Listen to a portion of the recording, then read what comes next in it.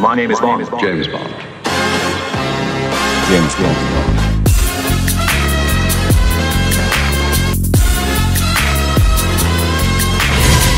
I want you to know this is nothing personal.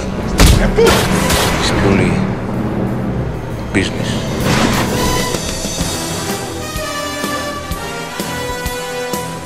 Effective immediately. Your license to kill is revoked. Problem solved. I'm more of a problem eliminator.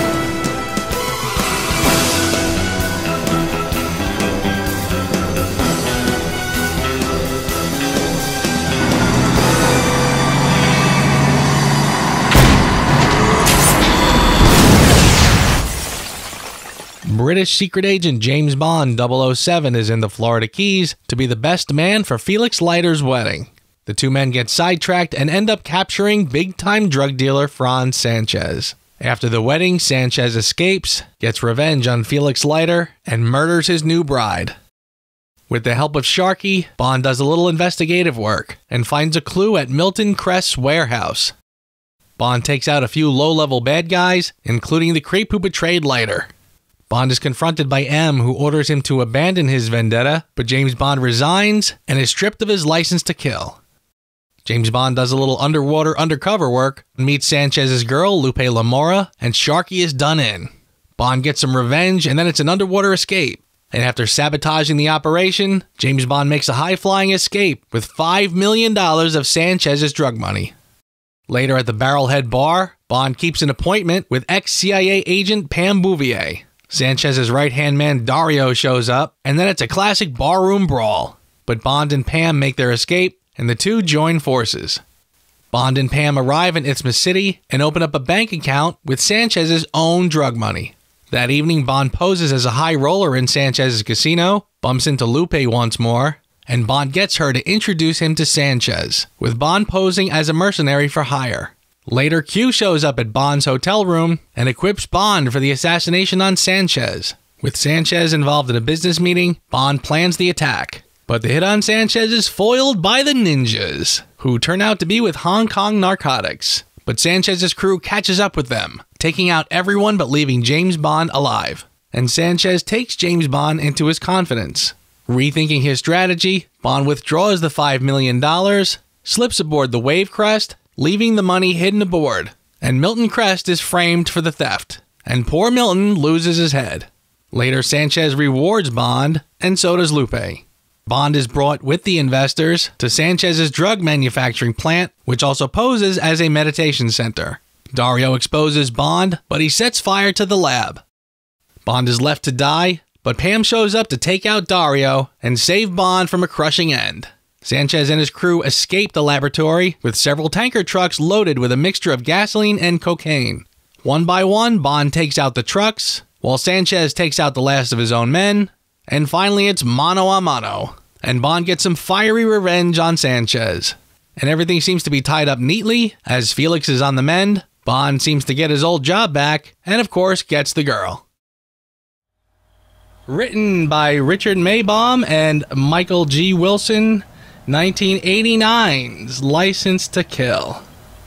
Yes, this film is sort of the end of an era, isn't it? Um, it's the last film directed by John Glen, uh, the sort of last one where Albert R. Broccoli is sort of directly um, involved in the production. It's the last Mm. one uh, with uh, Maurice Binder uh, doing the main titles, um, and you know, last um, uh, performance of M by Robert Brown and uh, Yep. Caroline Bliss as Moneypenny. So yeah, this is uh, sort of a film of last little things. Yeah, it really is. It's it's interesting and it's funny, and I won't skip ahead, but it's one of the reasons why I've always felt that GoldenEye was sort of an unspoken reboot. You It know, really was, Like, there's a lot of hoopla over Casino Royale being like, "Oh, this is the first time they rebooted." Yeah, Yeah. but they kind of, I think they just sort of did it without actually saying it, really. Yeah, so you yeah, you're absolutely right. This is definitely, it's the last Bond that feels connected to that larger world that we've kind of grown accustomed to. Right, from Doctor No all the way up to here. And I have to say, like with this film, I know that you're not a huge fan of the film. Spoiler Um, alert. Spoiler alert, right? Um, but I think you know I was thinking about it, and I think some of the reasons why, and maybe you can you can uh, elaborate a little more, is that I think um, there are just story things that really bother you here because I think. Um, I think the casting in this is fine, and even the musical score is very serviceable. It's very good, but I think there's some things in here that just and, and, and you would think that this would be one of your favorites just because of the the, the sort of the story elements here, and Yeah. sort of there's some Fleming esque things in here that are really nice. Um, but I think with you, there's just a little too many. Plot elements that are bothering you so i guess you really i think your real issue might be with the screenplay Uh, yeah, it's uh, it's definitely the screenplay, and it's you know, I, I kind of feel like the issues I have are really sort of across the board. That I kind of feel like like even if I can solve this problem here, this over here is not working for me. Um, the the thing that I always walk away from, and by the way, I should preface that you know I that that retrospective that I did way back when, you know, that I kind of got lost in the uh, YouTube shuffle. I just reposted that recently, and so and I, I spent a lot of time kind of ripping on every little detail of the film, and I was very pleasantly surprised how many people came back and said, "Dude, you are just you have no idea what you're talking about. This movie's great." So I think that was great. I like that. I, I'm glad that a lot of people like it. Um, so with that said, yeah, uh, I, I I just can't sort of. Um, it, it's almost like watching a bad magician, you know, and you constantly see, you know, when he puts the card up his sleeve or when he does something, and you're like. It's like, dude, I, I want to like your act. I, I I like magic. I like everything you're trying to do here, but it's just not working. And and that's really kind of how I feel about this film. It's really at the end of the day, it's all about the execution that just fails. Like I, I see what they're trying to do. The idea of it is great. Uh, Dalton is the right bond to tr- to try to do a something like this with. But then when they go to when the rubber hits the road, I feel like 90% of the choices they make are just the wrong choices. Yes, the screenplay is wrong. The plot doesn't work for me. There are too many things that I just sort of sit there and go, huh?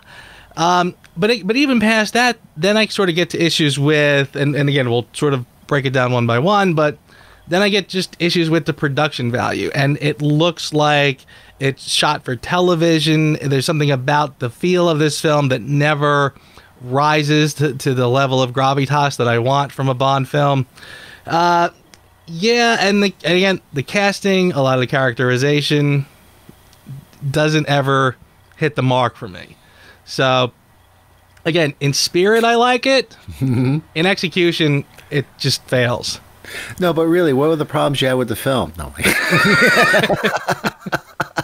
I'm gonna put you down as there. um, I'm gonna put you down as undecided. yeah.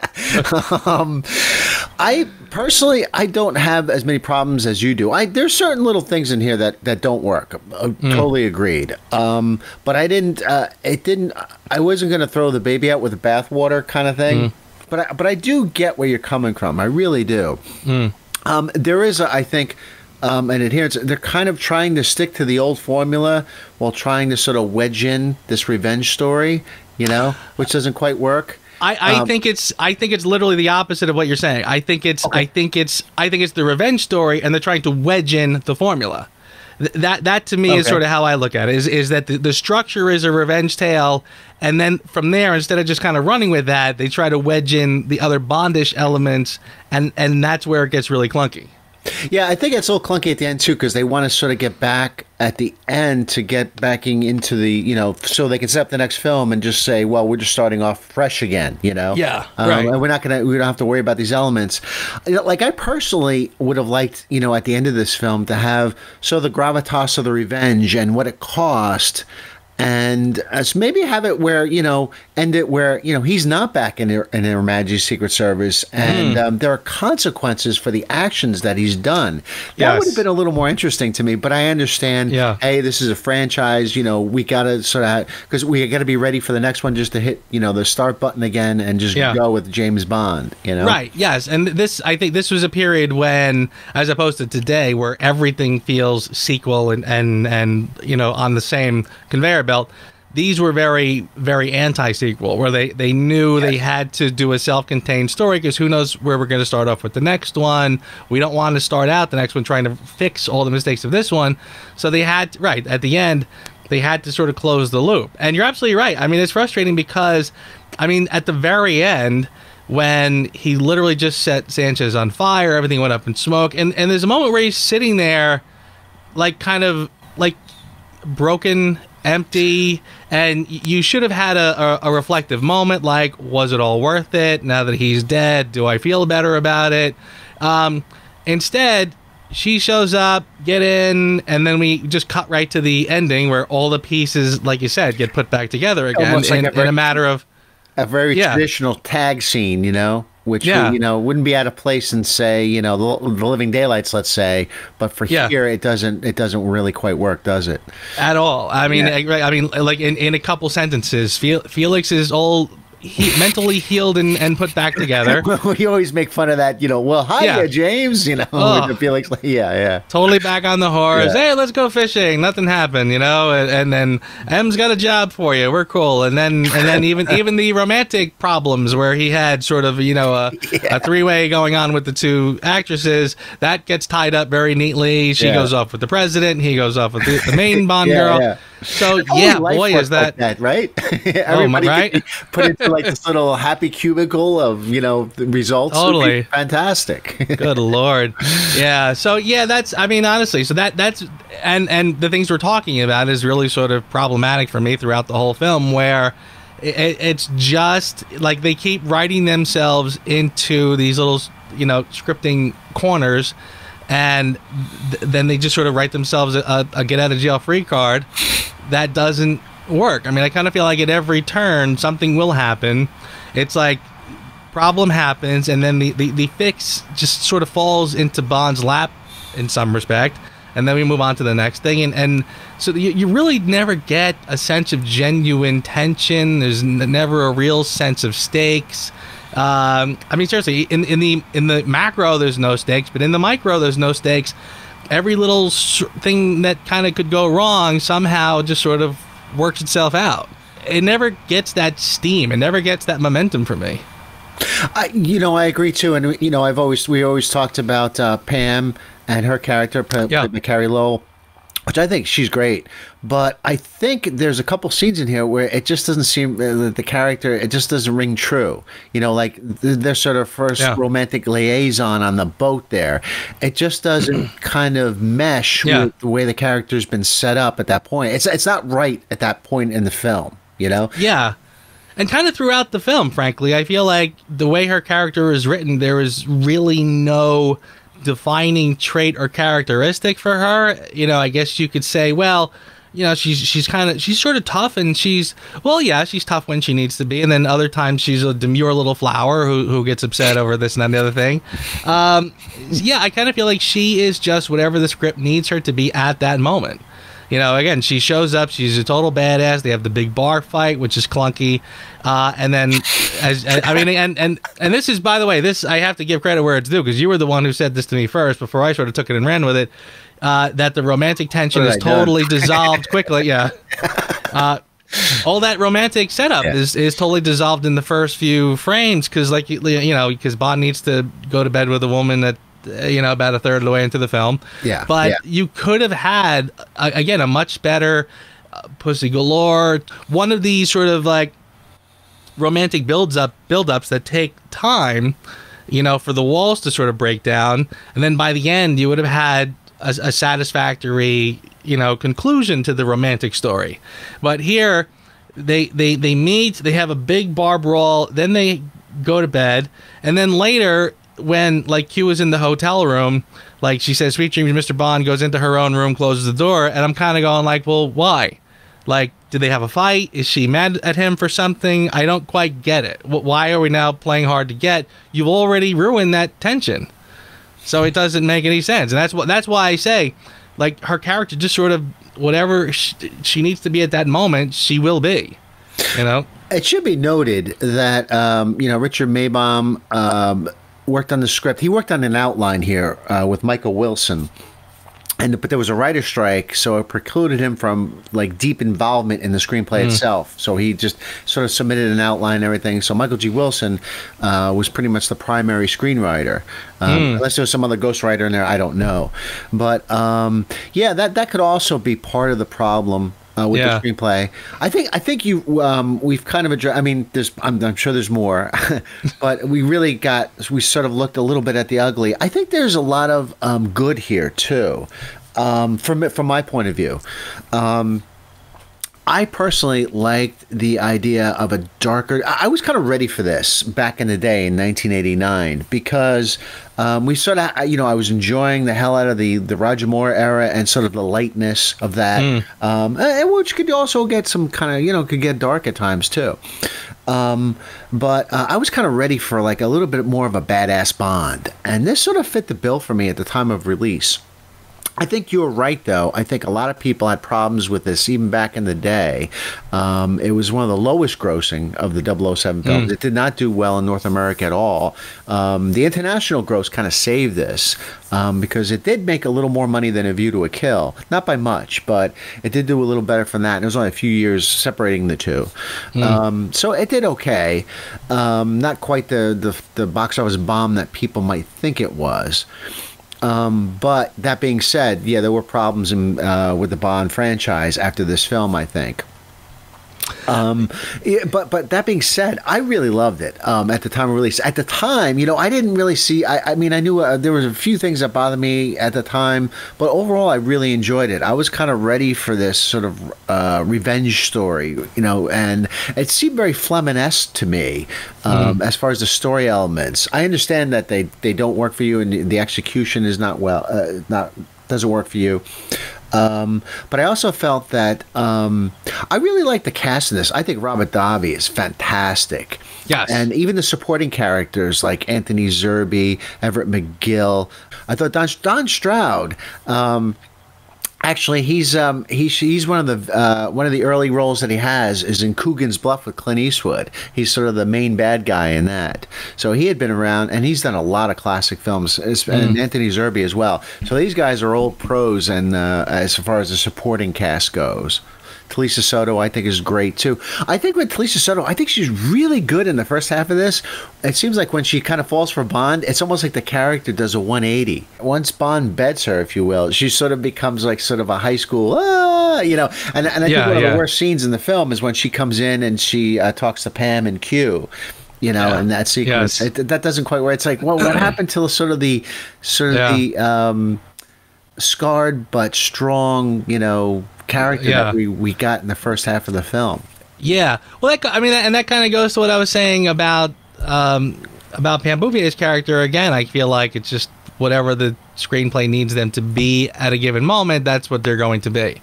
They're, they're not. They don't see through. I, I've heard that that scene in particular, uh, that uh, John Glen was sort of off doing. You know, one of the one of the things I've heard about John Glen is that because he came up as a second unit director, that's almost where his comfort zone is. And from what I heard, he was off doing the truck chase when that scene was being shot, and he just sort of left it to. The, I, I heard that even Timothy Dalton might have been technically directing that that uh, scene because there was no one else around. Um, and it's interesting, you know, you sort of reminded me before when you mentioned that there was a writer strike around this time, because this film, in connection with Living Daylights, there's another parallel that that always sort of reminded me of, of each other. Uh, the jump from The Living Daylights to License to Kill reminds me of the jump from Casino Royale to Quantum of Solace, and I, I feel like the the overall grumbles that I have with License to Kill, a lot of the same feeling that I have toward it will repeat itself when we're talking about Quantum. Because, again, I sort of feel like the problems in both situations are very similar. And when you said you were ready for a more badass James Bond, I'm totally on board with that, and I feel like we got that with with um, with the Living Daylights. I feel like the Living Daylights was the jump from you know fun Roger Moore to a more hardened James Bond and Timothy Dalton. I thought they nailed it perfectly in The Living Daylights. He had some real badass moments, but he still seemed like Bond to me. Here, they take that and put it on steroids, and now we just sort of get Charles Bronson. You know, I, I feel like we're watching sort of a Charles Bronson movie, and they're trying to tailor that to like they're trying to take that as their starting point and tailor it to Bond. And Quantum was very similar for me because again, I thought they nailed Casino Royale so perfectly in in story and in tone and in character. And then someone said, "Well, this harder edge Bond, we got to we got to do more with that." And now we just got full blown Jason Bourne, dirty, gritty, etc. So so yeah, I, I hear what you're saying by wanting that that grittier Bond, and I, but again, I feel like they hit the sweet spot with Daylights, and here they just go, well, now we got to make him harderer. You know, they slick back his hair and give him those sideburns, and he's just miserable all the time, and he's constantly brooding. And and and as I mentioned in the other video, I said, and he's constantly telling people to go away. I can't stand that. Like I I can't. don't like that. Yeah. that drives me crazy. There, like every scene. Okay, now you take it and go. See you later. I work better alone, etc., etc. And it's like, but again, like from from a, from a movie goer standpoint, you're like, dude, I know they're not going anywhere. I, they're a major character. I know they're not leaving. So stop with this. Like, like who are you trying to kid? Um, but but it, and just in terms of, of the story, you know, in to be in the story, I feel like it doesn't work because again, Bond is relying on these people to do things.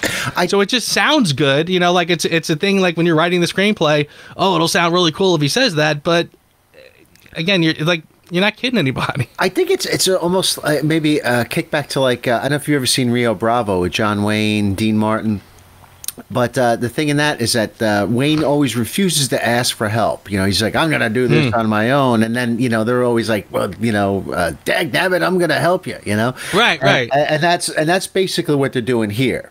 Yes, Yeah. right, and and right, which kind of mm-hmm. also drives me nuts about Q because Q Right. now has become that dag nabbit character. I'm going to help you, Right, I- like that right. that that exact sort of sidekick Yeah. is is what they make him in here, and that's sort of what I go what I was saying before. Like like when you said it's Bond, but they try to work in the revenge story, and that's why like it seems like a minor point to sort of harp on. And I was like, no, no, no, it's a revenge story, and they work in Bond.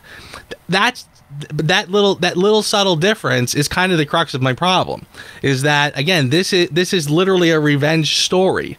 So they have again the loner hero and the overeager sidekick and then they go well well now who who who's who? And and you know well bond is now the loner. But we'll, we'll, we'll put him in a toxin ma- make sure we know that he's still james bond. He'll order a martini so we still know he's james bond but that's kind of it. You know like other than that i kind of feel like i'm not watching a classic James Bond story. And again, the the Q part really drives me nuts because they literally took a character that has nothing to do with what's happening. Like that, like Q is hardly the overeager sidekick. So I mean, he's he's 180 degrees from that. So the fact that they took him and just dropped him in that role, it's like no, and, and not. And again, you're also you know losing the opportunity to put a character in that spot uh, that would have been much more interesting. Like like you know like a Kerim Bey or a Draco or a Columbo. Yes I don't like that guy either. So we're gonna help each other out to get this mission accomplished. I mean that, I feel like that's that's a perfect Columbo opportunity there. Instead, they're like, well, you know, since this thing doesn't look like a Bond movie, we better put something in it to remind people. Well, we'll just put Q in that spot. Now, Q will be there all the time, and you'll have that sort of familiarity. I, and again, I just find it it doesn't work at all. You were talking about uh, James Bond moments, and I felt uh, sometimes, you know, just uh, him ordering on a martini or whatever. It's that's cool, but it's not enough. And and but there's one thing. There's a couple scenes in here that really are Bond moments for me. One is the uh, when he's having that underwater fight, and then he Yeah. uh, gets that harpoon gun, uh, and he's able to escape, and then he's Yes. like doing a water ski behind the plane. That is as a Bond moment as you can get. All right, I, I Yeah. think it's great. I, I, I- think it's terrifically directed and executed. Can't argue with that. Yes. And, uh, and that was the moment because when I first I remember when I first watched this I was like, boy, I don't know if this movie's kind of gelling for me. Uh, and then they hit me with that moment, and it just it was like one of those things that just it sort of brought me through all the way to the tanker scene, you know, which I thought was great as well. I know you're not a huge fan of that, but Um, I love the tanker scene because um, this is like probably one of the first and last times you'll get to see trucks actually doing that stuff for real. And I Hmm. think it's and yeah, some of it doesn't make sense. You know, he's able to j- you know jam the pedal and the thing does a wheelie. Yeah, so what? Yeah, It, uh, well. sometimes uh, the suspension of disbelief. You you kind of have to run with it. Um, but I love it. Uh, the tanker stuff Yeah. is great to me. I think it's great stunt work, and uh, Mm. it's sort of in a way, it's sort of like a little stunt work blowout. Um, because and uh, not so much in the Brosnan area. Those they they do some real real time effects and stuff, but that's like the first time we start getting into digital stuff in Goldeneye. Yeah, Yeah, yeah. No, I, listen, I'm with you. And in terms of the strengths of the film, I, I totally agree that the uh, the water skiing behind the airplane is is a definite plus. I think the whole pre-title sequence is excellent. Yeah. It I. I think that whole bit with them kind of I mean it's and it's great because see again and and one of the things about this film that will always frustrate me is that there are hints of genius in it frankly um, the pre-title sequence when they've already kind of alluded to fishing um, I think there's already mentions that, that the two go fishing together. So the fact that that uh, this whole thing happens, and it's a pretty elaborate pre-title, by the way. Like there's the is. whole shootout at the place before they even get to the stunt.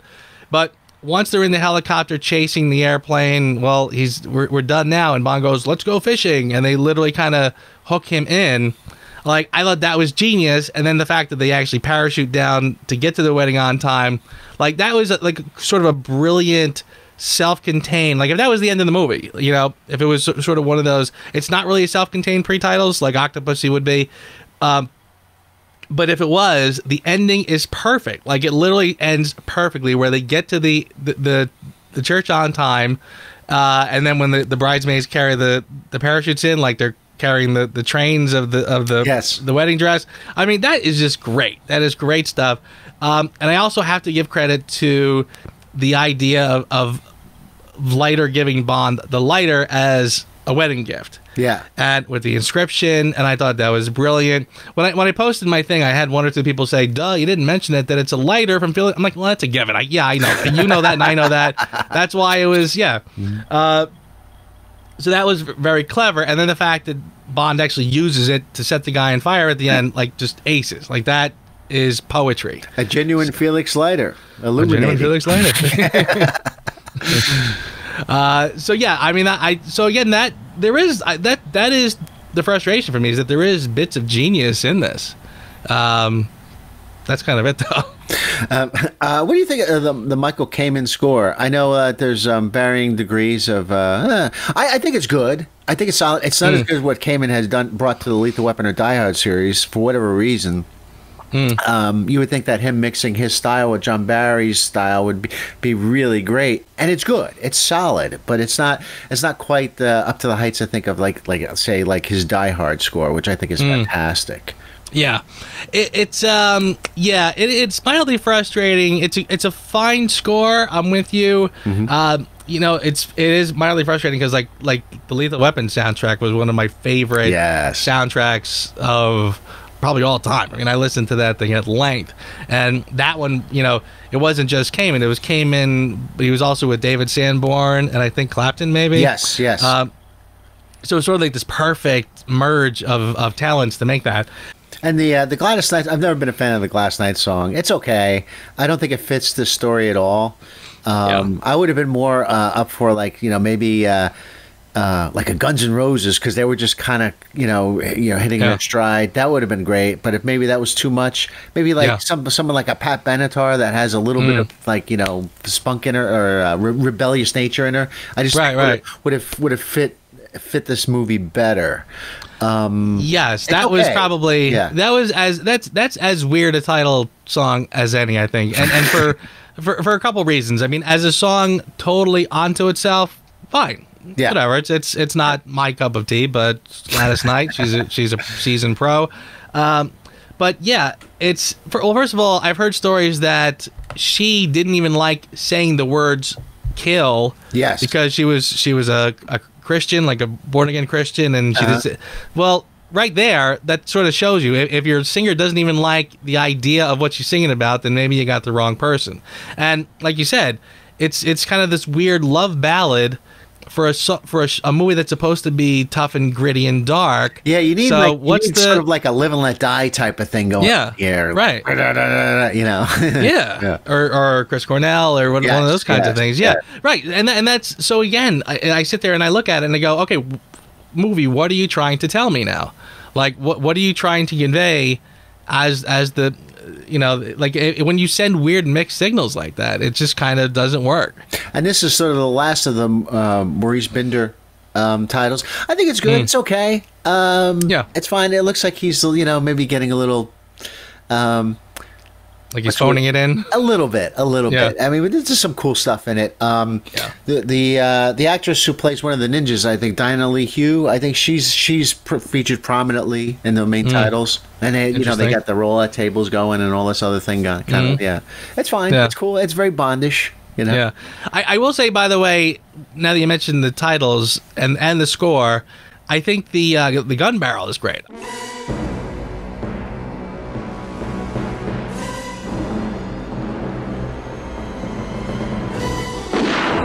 I like the gun barrel music there. Oh, no, yeah, yeah, That's yeah. that is sort of where Kamen shines, I think, Yeah. as him putting his imprint on James Bond. So why don't we get a little more into the story? Because again, the the actual story and the plotting is kind of really where I kind of start. Yeah, I think you know um, it, it, it does bear mentioning, and it, this didn't occur to me at the time of release because I don't think I saw the film until later in the early '90s. But this has a, um, a sort of a similar plot style to Yojimbo, um, the Kurosawa film uh, with the great Toshiro Mifune, and uh, which were later um, Sergio Leone would would take and make his um, a fistful of dollars with Clint Eastwood. Would take the same story structure of Yojimbo and use it there, and uh, that's sort of the acorn that led to the great, the good, the bad, the ugly. So maybe without Yojimbo, we never would have gotten that opus. But um, yeah, there's very similar. I'm not believe me, I'm not comparing this to Yojimbo. Yojimbo is one of my favorite movies of all time. I got that. I, uh, truth be told. Um, but yeah, I, I, uh, I, it didn't occur to me till later on. I said, "Oh yeah, they're kind of doing that." You know, it, it's you know, because I had no reference point up to that point. You know, of I hadn't, I hadn't seen Yojimbo when I first saw License to Kill. So, but um, yeah. but um, yeah, no, I, I don't mind. I know, and you brought up in your retro in your uh, review or retrospective. You know how some things don't make sense, and um, you know he's taking the money out and then he's putting it back in, and then he's taking it out again, and how come they don't notice? I think you could make the argument. You could, and you're you're, you're not wrong, but This is why you're here. I want to hear it. Good. no, you could make the argument. Well, this stuff is happening pretty quickly. You know, it's happening within a matter of a few days or something. You know, or, or hours even.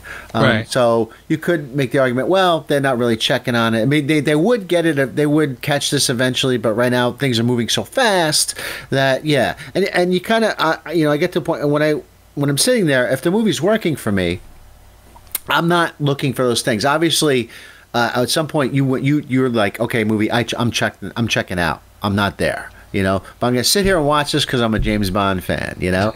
and I think uh, a lot of the uh, a lot of the uh, things that crop up that don't make sense and that are like a little rough. Um, I mean, they magnify for you, you know. yeah. Yeah. Um, and you're not wrong. I mean, I think your I think your um, your retrospective on this was great, and I thought you brought up some interesting questions. You brought up stuff that I didn't even think about, you know. But but I guess you know I had I was already I was kind of down with it. I was like running Mm. with it. So it, those glaring problems didn't seem to it did they didn't Yeah. magnify for me, you know. Yeah.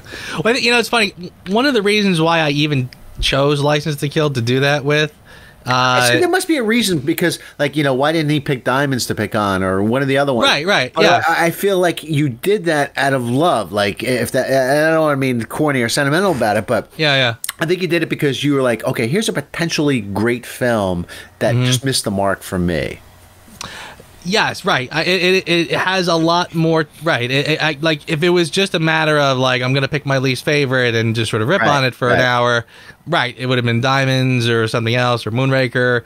Uh, this one again, it's it's the one that kind of just sort of gets under my skin a little bit because again, because I see what they're trying to do, I see what they set out to do, and then it's just just every decision kind of just is incorrect. And you're such a big fan of Living Daylights. Like the, this was like the big Yes. follow up. So yeah, Yeah, you know, there right. was a lot riding on it for you.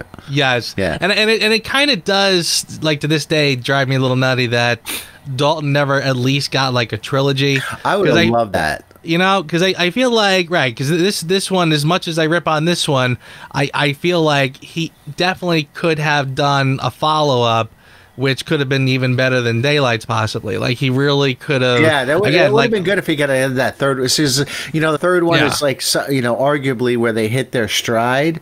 You know, Yes, you could right. get, you know, Connery had Goldfinger, uh, Moore had this, um, the Spy Who Loved Me. Mm. And even Craig later on, you know, he had Skyfall. So you could argue that they, Yeah. those guys really hit their Right. stride in that third movie, you know? you know is, is Leiter Bond's BFF that he would yeah well I'll, but I'll take that and, and go which by the way is why I've always said I think they should have brought John Terry back as Leiter because if you brought back John Terry then you could have implied a, a much deeper chemistry with Dalton, but go ahead. yeah I'm sorry. I go. know where you're going. No, I no, no, you're going now. yeah. I mean, ba- right. I, I mean, he's but, but but again, he's not a bad actor. He, I just felt like they just kind of did, did nothing with him. See, But again, and that was sort of one of my problems with this whole idea of Leiter. See, again, and this sort of goes to what I said about how it's it's essentially a revenge plot, and now they keep pulling these other characters into it in in ways that don't work. Leiter, like just like I said about Q being the overeager sidekick, the Leiter idea for me doesn't exactly work either because again, we, they want to do a revenge story.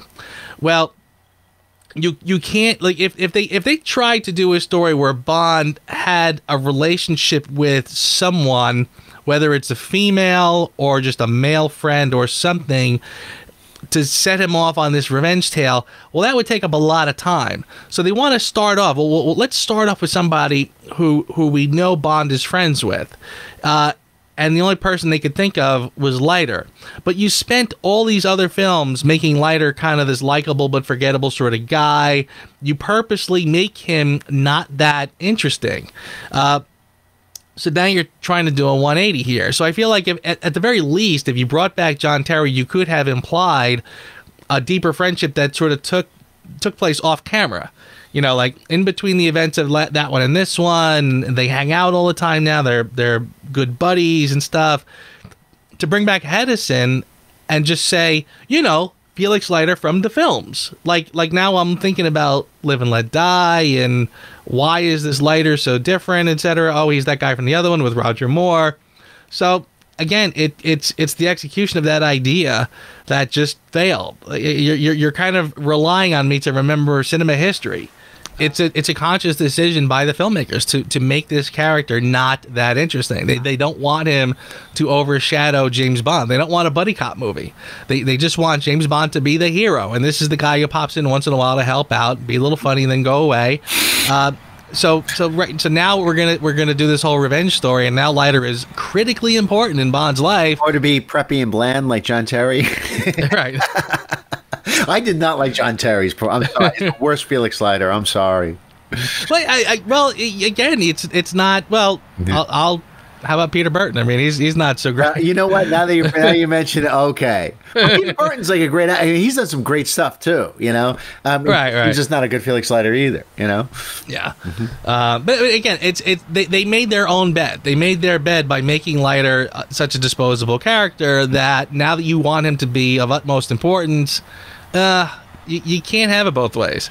So the the idea that he's the linchpin now for this whole thing, well, I, don't do, know. I do get what you're saying though about Felix Leiter being more of Dalton's contemporary, you know, and being closer in age and so forth. I. Yeah. think that probably would maybe, but I, I understand why they went with David Hedison. They went with an actor that you kind of know, and uh, Hmm. that the you know the the, move, the story is kind of moving quickly, so you kind of want to have a little bit of history, you know. And I think that Right. too, you know, you know, I know you don't like the choice of Priscilla Barnes, but I understand why they did that. It's like. Like really, those guys savagely killed the the the the, the really um, the chick from company. They did that, you know. Right, right, right. Terrible. These people are terrible. I think I think that's what where they where they're going with that. You know.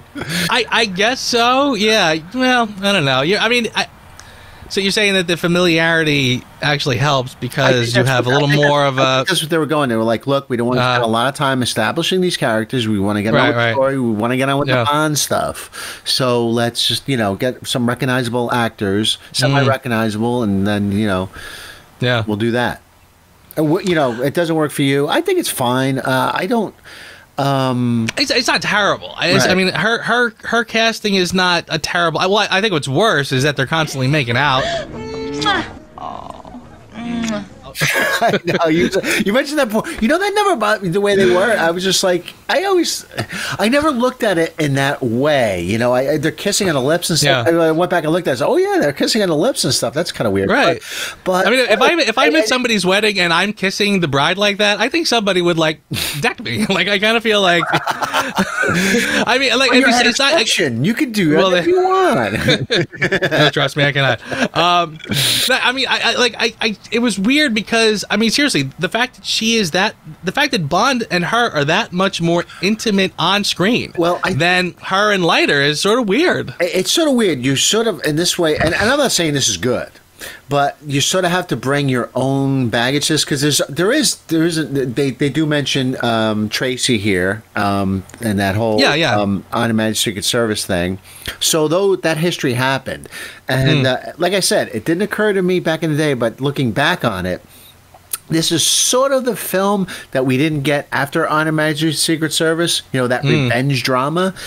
Yes, and um, yes. I think you're supposed to add um, that a little bit into here, like the whole idea that, and that would have been interesting uh, territory to mine. Have it where Yes. is he is he actually going revenge for Leiter, or is has this sparked that thing that he kept down so deep? That the you know, the loss of Tracy is he doing it for that?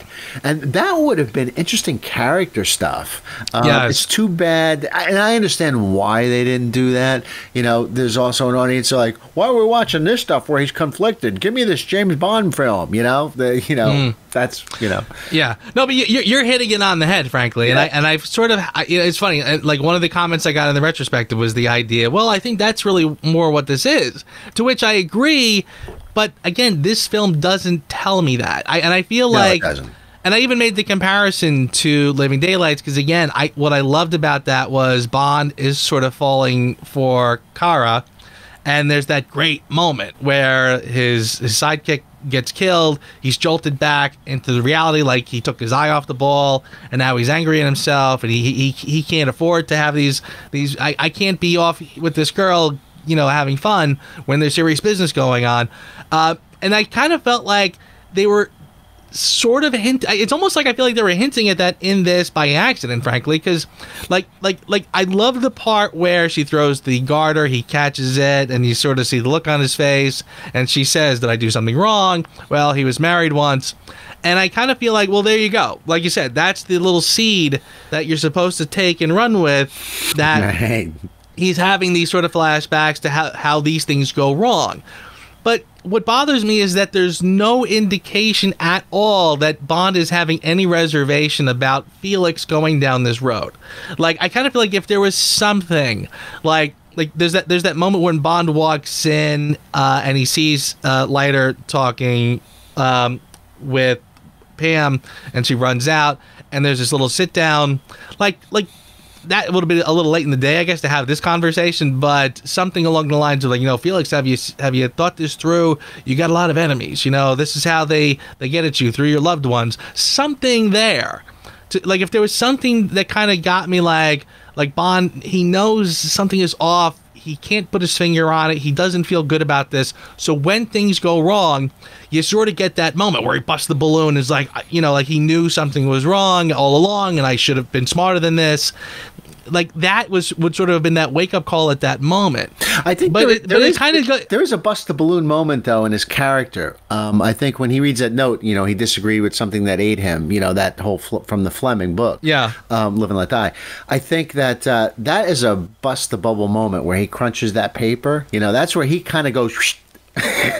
Yeah, it is. It is. It's not as effective. Sometimes the I- bad guy's got to smoke the pipe. Sometimes the bad guy goes too far, and then he Right, right. die. I mean, Yeah. See, see, with me, it, there's sort of like you know, there's real life justice, and then there's movie justice. And this sort of falls for me in the category of movie justice. You know, I don't think it's right to go s- kill somebody no matter what they've done.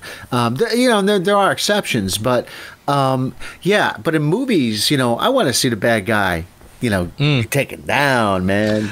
Yeah, and- downtown. yeah, and he and he is when they finally get to that. I mean, like I do feel like when they, you know, when Bond finally does get revenge on Sanchez, the the moment is good. Um, doesn't have quite the punch I think it could have, but again, him pulling out the lighter, setting him on fire. I mean, that's a pretty good way to to get rid of this villain. Um, but again, it's like I kind of feel like by the time that actually comes, I felt like there were so many like you know the scene where Bond wakes up at Sanchez's house after the whole big thing, and you know Sanchez you know wakes him up. Oh, I'm glad you're doing okay. Sit down and have coffee. Uh, I get what they're doing there. That's that's when the Yojimbo stuff starts, where rather than just trying to kill this guy, which again, like even the scenes when Bond is going to take him out with the sniper rifle, I'm you're sort of I'm kind of feeling like, yeah, but I know he's not going to kill him here. I know like this is the halfway point of the movie. It's not going to end here. So I almost felt like it never really got me the way it should have. So then when you get to make- that you can make the same argument in Casino Royale. Like, well, I know that he's poisoned and he's had a heart attack, but I know he's not going to die here. I mean, you can make Yeah. the same argument, you know? No, that's that's very true. It is, yeah, you're absolutely right. And and I, I you have to have story. I mean, Bond has to take a couple swipes at the guy before he actually, right. or else what? Or else you don't have a story. I, I do get that. But then later on, when, uh, when when he's back and they're having coffee and smoking cigarettes next to the pool, like there's a part of me that's going. Why don't you just grab him and choke him? Like, just go strangle that guy right now. Like, like he's right in front of you. You have a license to kill. You could probably like pull his heart out and show it to him before he dies. What are you waiting for? One of the scenes I like um, is that scene, the- the first scene between Sanchez and Bond in Isthmus City when they first meet. Yeah. Um, I think that's a great scene. I think you know you get Dalton and um, Robert Davi are terrific in it. Um, Yeah. it's a great scene. Um, really, I really like that scene a hell of a lot. Yeah, so th- th- yeah, so for me, there's enough here to um, where I really like the film. You know, um, I, and I can sort of get past and and like there, there's some things to me that are almost like uh, iconic. Like when uh, I know you're not a big fan, but like when uh, Pam first shows up, Carey Lowell first shows up, and uh, she's got the cut hair and the and the dress and everything, and, and at the, the, the nightclub later on, I think it's almost iconic. It's really great, and and I think you've mentioned this too. You like that scene where um, you'd be pleased to know that your uncle has arrived. You know. Yes, yes, yes. and, and then by then, you know, Sanchez has sort of confiscated his gun, you know. Uh, Right, right. And they carry, you know, she gives him one, you know. Let's make this a proper family reunion. Give me a gun. There's just certain things in this that I really. I mean, you, you know what? It's like it's to me, it's like a little bit of a mixed bag. I mean, you have like, um, uh, you have that underwater fight and the the, the escape and all that stuff, but then you kind of have that. It's not a great uh, bar fight, you know. You've seen better, and you've seen better Right, yes. fun and everything. I kind of like the tension building up to the assassin, you know, the attempted assassination on Sanchez. That's kind of interesting, you know. Um, and I didn't mind him uh, going down and uh, you know Yeah. planting the thing to, to blow up, you know, with the cigarettes and everything. That I, that's fine. That stuff is good, you know. And, and there's a there's a fair amount of tension building up to that. And there's also like yeah, but there's certain things like in, in here like um, there's uh, Pam. Um, he sees her right before he goes to, to assassinate Sanchez Yeah, yeah.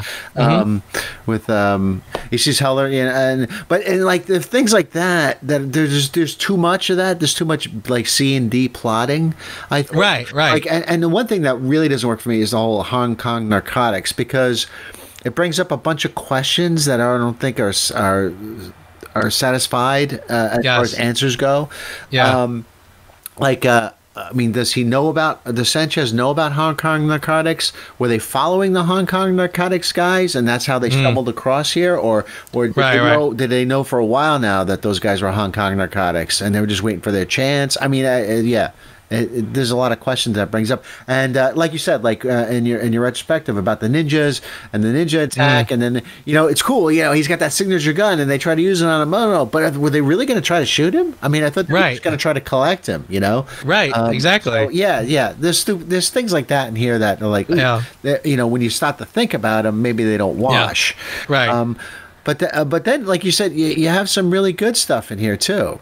You know, uh, Yeah. like you know, being the tanker scene and, and that kind of thing. So Mm. um, there's some really good stuff, and like you know, Sanchez's escape is really spectacular. You know, the way they did the whole Yeah. water thing and, and Yes, all that. yes. yeah. Yeah.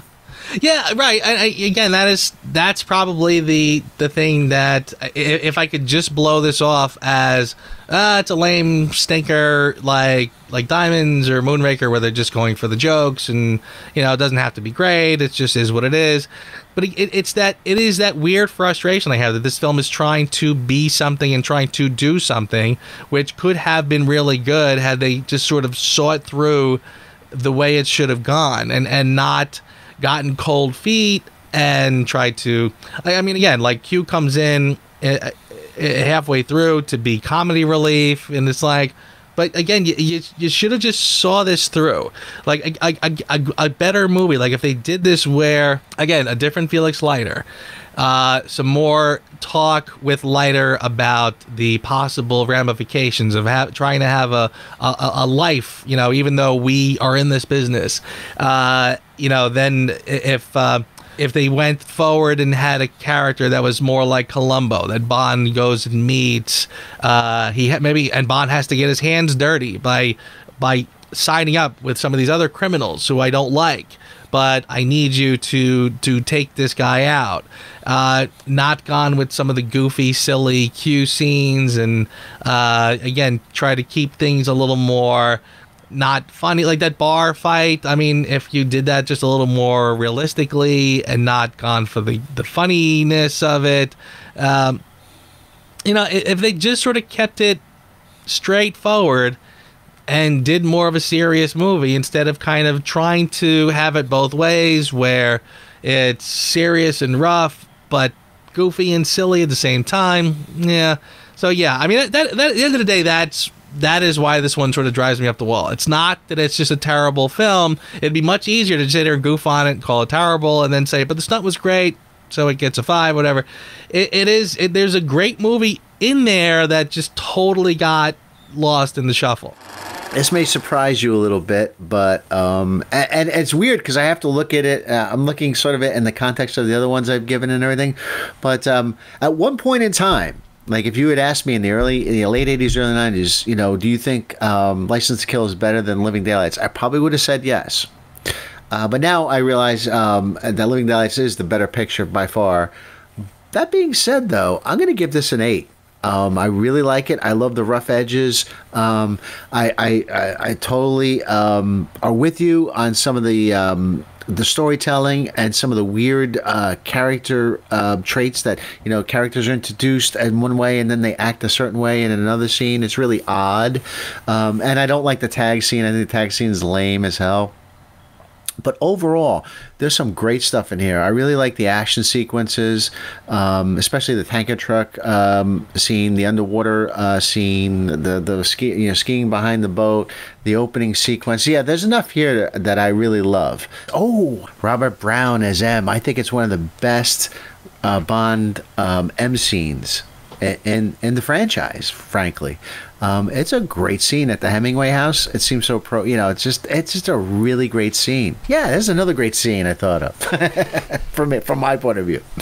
Um, um, and uh, like I said, I wish Dalton could have gotten a third outing. That would have been great because I was ready for it. Because I was, you know, nobody else was like, you know, into the whole Dalton Bond thing, but I was. I mean, I was a huge Dalton James Bond fan.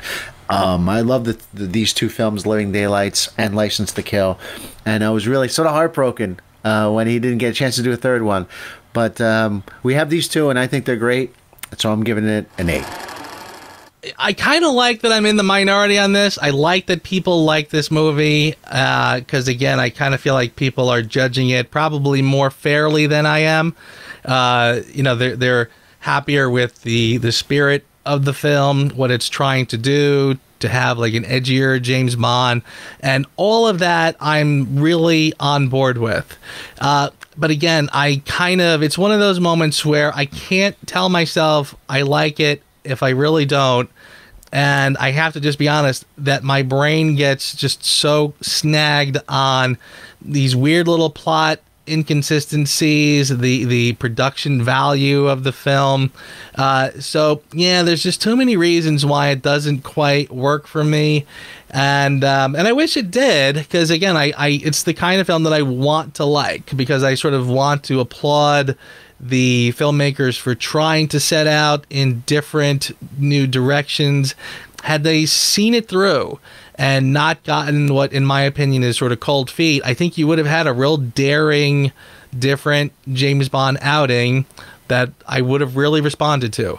Uh, but as it is, it's really clunky, it's wooden at times, and again, the plot inconsistencies just don't work for me. Uh, so I'm gonna give it a three. It sounds kind of harsh, but honestly, yeah, it's on the. It's definitely in my lower echelon, but it's it's higher than Diamonds. It's higher than Moonraker. It's not that bad, but it, it's just not in the in the tier of the films that they really get me excited. This is an easy one. That tag scene. I hate the tag scene. Um, it just doesn't. It's it's one the one scene in the whole film. Uh, you could either do this or the one where um, Talisa Soto comes into the room and meets Pam and all that stuff. Um, but th- that's okay though. Um, but no, the tag scene's the worst. It's it's they're trying to bookend the film and sort of tie everything up neatly, but it just doesn't. It just doesn't ring true because uh, it doesn't quite uh, mesh with the story we've just been told. It doesn't feel right. You know, there should be there should be a bittersweetness to the end of this. I think.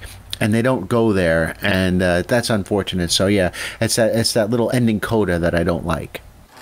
Yeah, there's a few things here I could sort of choose from. There's a couple things that bug me. A lot of it has to do with uh, the the undercover Bond being able to sort of fool Sanchez, even though literally like everyone else around the, them seems to know exactly who he is.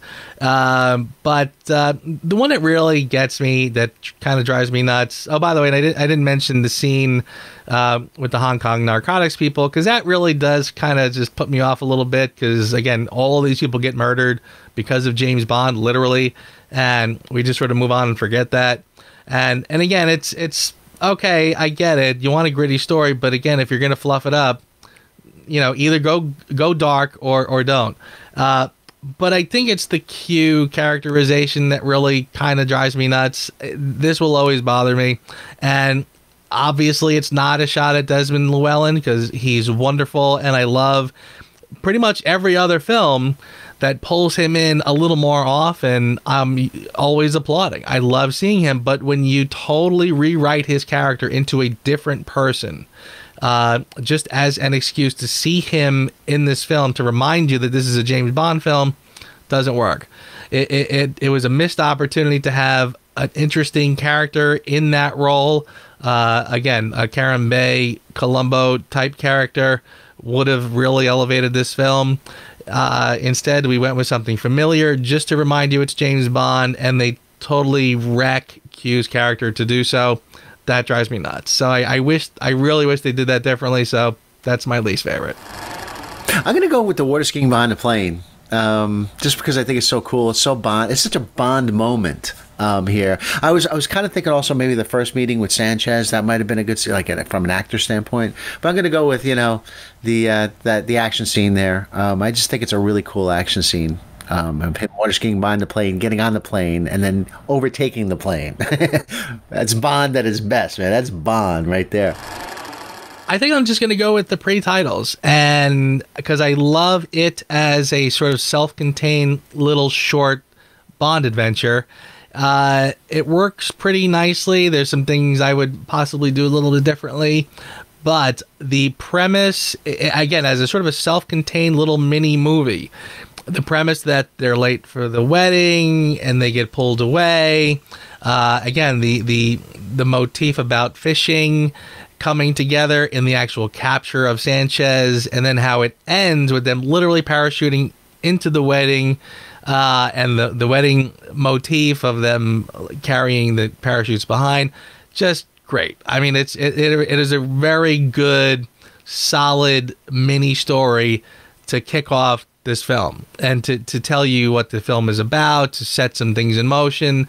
Uh, I think it's great. Really well done. That's my favorite part. Another great review. Scott, thank you as always. Thank I, you, my man you know, the, the I'm enjoying the series, enjoying the hell out of it. Oh, and by the way, our our endings, your your uh, your your death scenes are getting a lot of great accolades. these uh, So miraculous resurrections. I don't know how. You- you- Nobody you're- you're the- around. I don't know why. you're the Kenny from South Park of of uh, this series, my friend. Yeah, what happened? Um, yeah, but you know, honestly, this film there's so many kind of like gruesome, brutal death scenes, and I feel like I don't want to set anybody on fire on this one. We should try to keep it Yeah. highbrow and not, Oh, you know, you let's know, take the high road for once. yeah, yeah. exactly, yeah, no more of that stuff. So. By the way, there's a big pile of cash behind me. It's about five million dollars in there. You know what? That's funny because I, I got a big old pile of cash back here too. I don't know how I got here. man. I think you're right. I think it looks like about five million dollars. Five Five million. million?